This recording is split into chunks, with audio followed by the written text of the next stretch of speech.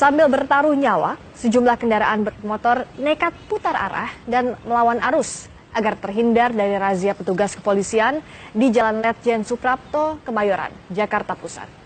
Tidak sedikit pemotor yang melawan arah dan akhirnya lolos dari razia.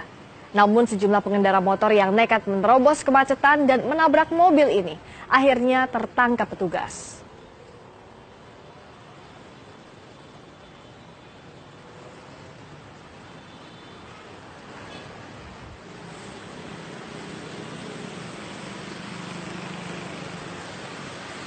Seorang pengendara motor yang nekat berputar arah demi menghindari razia akhirnya pasrah ditangkap petugas yang loncat ke motornya.